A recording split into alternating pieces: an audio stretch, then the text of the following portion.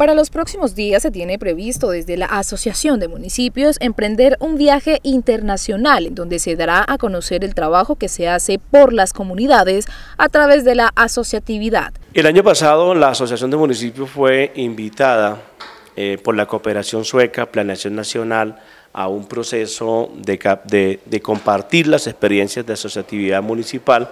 Esa mesa de trabajo se desarrolló en Bogotá en el mes de diciembre y eh, luego se vienen desarrollando unas capacitaciones en temas de participación y asociatividad.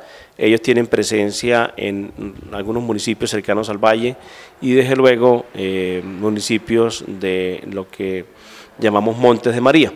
Y identificaron y dijeron, bueno, vinculamos la Asociación de Municipios que nos puede compartir experiencias en otros territorios. Bajo ese entendido hay una gira de académica que tiene previsto ir a conocer procesos en Suecia, especialmente de participación y de asociatividad, y hemos sido invitados como Asociación de Municipios para contar esa experiencia. Va a ser una gira de una semana la salida es el día 29, el 30 comienza la agenda académica y el regreso va a ser el 8 de septiembre.